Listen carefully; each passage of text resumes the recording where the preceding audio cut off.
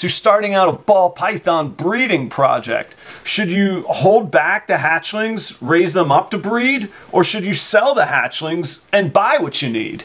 Let's talk about it. Let's do the math. Let's get nerdy and check it out.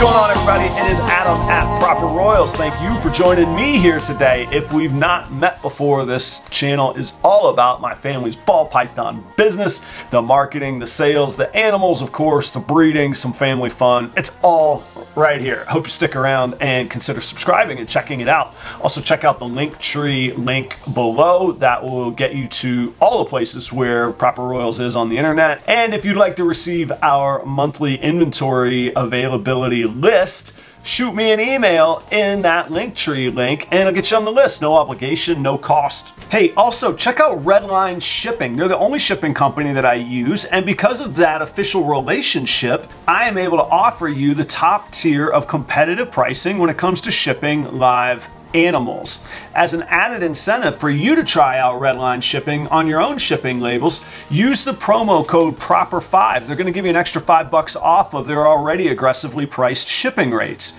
So I love this debate. I have this debate with a lot of people, and let me say up front, there's no right or wrong answer. It's going to come down to what suits you the best, but I want to give you some thoughts to consider. And I'll tell you what I generally opt for and where I will change that strategy, or when I will change that strategy, or how I'll know when to change that strategy.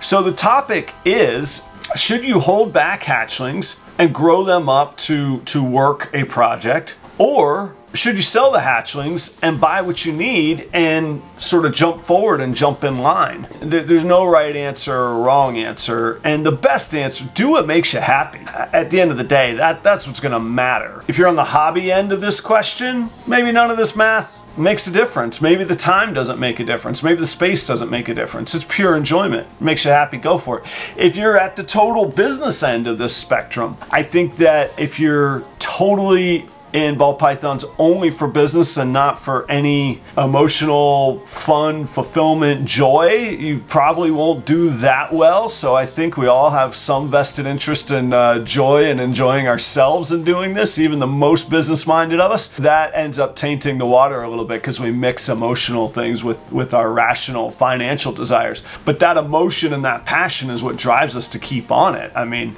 when you get tired of cleaning snake tubs and you got a hundred animals and you know that you're going to clean every bit of six days a week and maybe seven, you better be getting enjoyment out of it because if not, you're not going to make it anyhow. You're going to get out. All things to think about. Uh, I'd love to hear your thoughts. Let me know what you think. We're going to look at a very simple example today. So things get much more complicated as you mix in other genes, as you mix in quality of the animals that you're producing. Maybe you feel like you're producing a higher quality than you can go buy. And at some point, you stick at it long enough, you're going to be producing things that you cannot go by. You're going to have, you're going to be the top of the mountain, and then of course it'll make sense to hold back. I'm kind of framing this as starting off. I just started my third breeding season, so I still consider myself starting off. Uh, this is a slow, long process. Let me give you the scenario. The scenario is like a really a day one realistic project. When we all first get started, we finally have understood a little bit of, of recessive genes and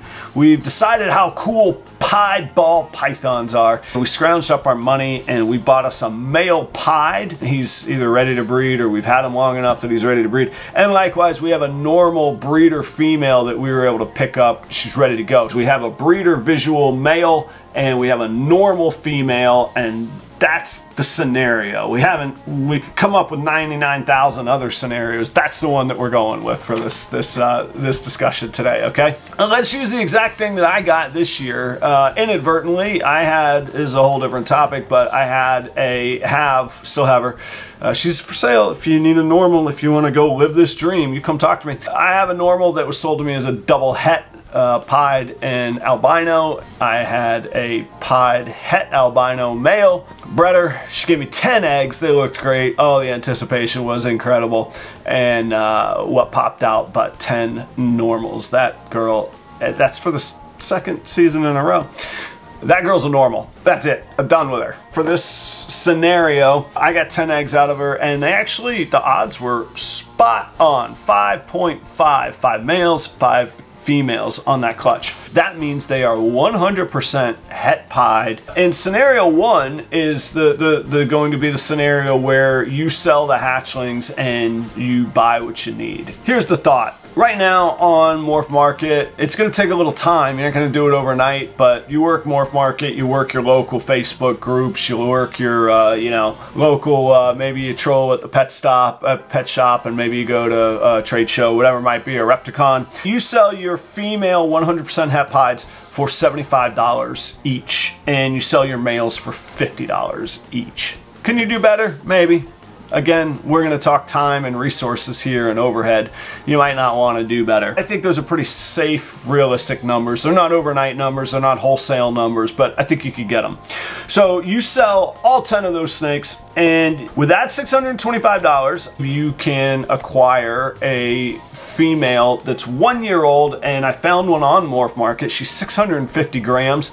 I believe in one year she'll be ready to breed. You're still going to have to wait one year on the holdback, but you're not going to have to wait the full the full term like you would if you saved hatchlings. At this point, you've got your original male, you've got your original female, and now you've bought another female so you have three mouths to feed, three tubs to clean, three snakes worth of cocoa to buy. In 12 months, you're gonna breed your visual male to that visual female that you've been you sold all your hatchlings for you bought and you've raised up. Let's just say that she produces for this uh, exercise we'll say that they all are going to produce six eggs. She produces six eggs and because you bred visual to visual you get six visual pieds and that would be in about 18 months you could do that. So you're going to buy one that you have to wait a year for to breed and then you start breeding it's another six months and and you got some you got some babies. In 18 months you would have six pieds. and if you did the same thing not selling them all just just without one female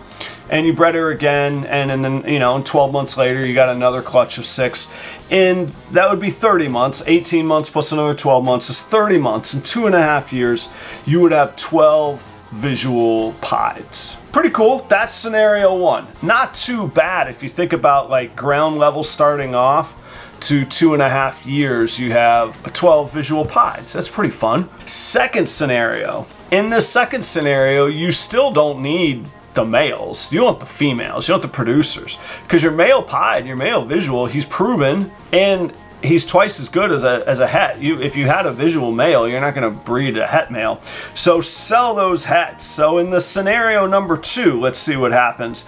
We sell those males and at the same price, we get 250 bucks for them. So you got 250 in your pocket to feed, to do some feeding with. Not bad. You're going to hold back your five females uh, and they are het pieds. You got to hold them for, for 24 months at best they're going to be ready to breed. You know, not at best, but but typically at best in 24 months. But for this scenario, let's say they're ready to go in 24 months. In 24 months, you breed your five females to your male. Most people would say that is a little heavy on the workload for the male. I would agree unless you have an ultrasound and you've become, uh, you know, maybe you've maybe you've gotten mentorship over the past two years and you're you're proficient with it, so it could be done. But again, this these scenarios are fraught with possible issues. I get it we got to pick a scenario and go with, and, and then, uh, you know, we can all pick it apart in the comments. In 24 months, we start breeding these holdback het pied females, and we breed them to a visual male pied. The odds say that half of the babies will be visual pieds at that point.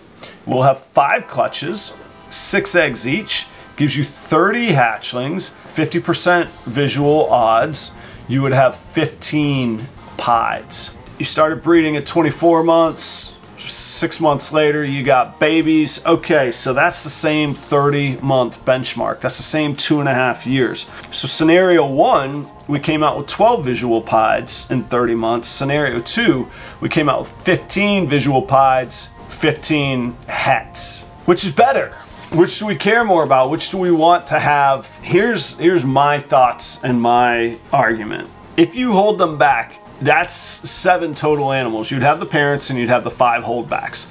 So that's seven animals that you have to feed for two and a half years versus three animals that you have to feed for two and a half years. Three versus seven is not that big of a deal. I get it.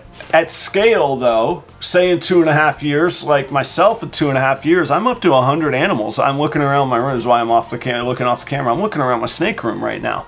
Do I want to care for 100 animals or do I want to care for 200 animals or 200 plus? That's the difference between three and seven when you make it 100 and then 200 plus. I ain't got time for that. I don't have the time, the resources, or the space. Let's say, let's just keep it at 30 and 70 so we can follow the math. The difference between 30 and 70 animals is a whole other ARS rack. That's a couple grand, few grand, that's a it's it's grands. It's it's multiple thousands. Same with the feeding. Okay, if you're not like me, I like I, I buy my rats. I do not raise them. I do not want to breed them. I buy them. Okay, you don't want to buy them. You want to raise them yourself. That's even more work you got to do. So now instead of scrubbing just snake tubs, now you're scrubbing rat tubs as well. My argument starting out in this scenario is the time, the efficiency, fewer animals, the fewer mouths to feed, the leaner the operation, the more time you're going to have for building your brand,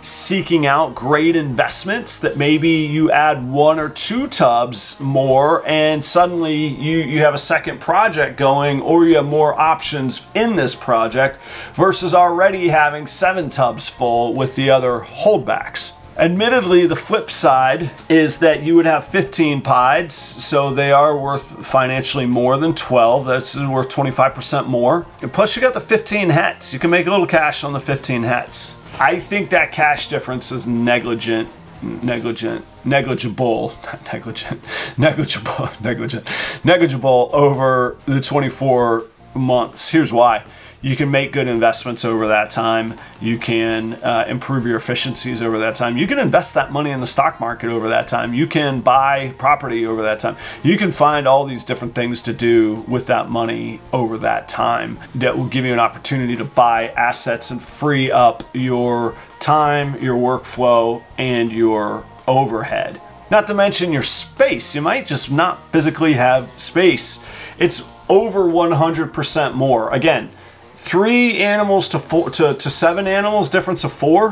Whoop de do, no big deal. As you scale up, as we do, if you're watching this video, I bet you either have over 20 snakes or in six months to a year, you will have over 20 snakes.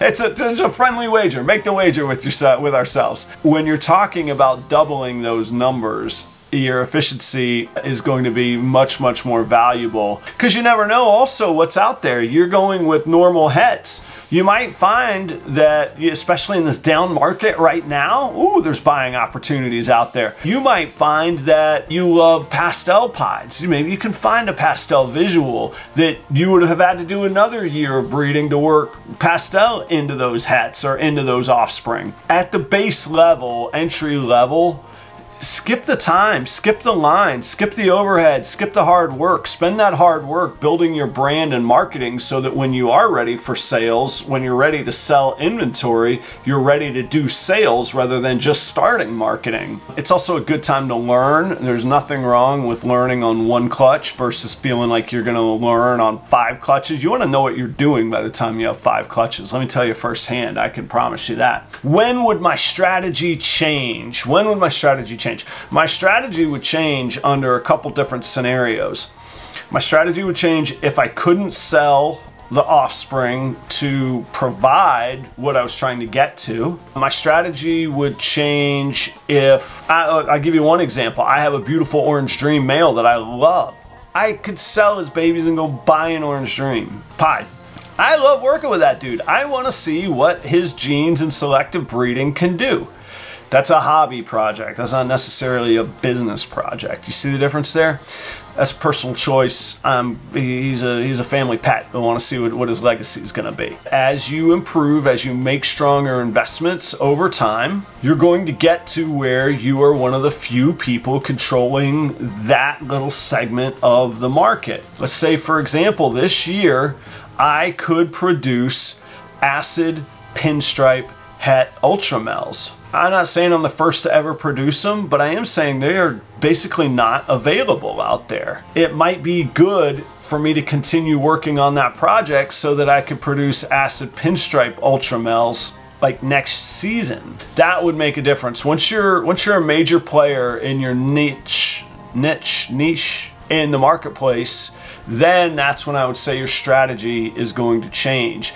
Until then, try and be building up to the best animal that you can purchase with the money you have. Don't go into debt. Don't go crazy. There's always another snake out there and there's always a market for what you're producing. Just remember, whatever level you're at, there's a whole there's a whole industry at your level as well. I have trouble remembering that, but I do have to remember that. The other scenario that I would keep it is a, is a, of course if I thought that I had a new gene or if I thought that I had just a truly outstanding version, market changing or at least product differentiating from the market, quality animal, then maybe I'm not going to go with that. Maybe I'll try and work out my own line. We've seen Ozzy do it. We've seen, uh, you know, uh, Josh Jensen do it with the acid. Um, there's ways, there, there are opportunities out there for that to happen. I see that kind of like the lottery. I don't know that I can plan on that scenario. I know these scenarios are rife with opportunities to pick apart. Let me know your thoughts. Let's engage a conversation. Let's keep things going. In the meantime, keep it right here on the Proper Royals channel. Check out these videos to keep up with everything that we have going on. You'll see the holdbacks and the animals that are available in all those videos. I'll tell you all about it. I cannot wait until I get to see you in the next video. Until then, see ya.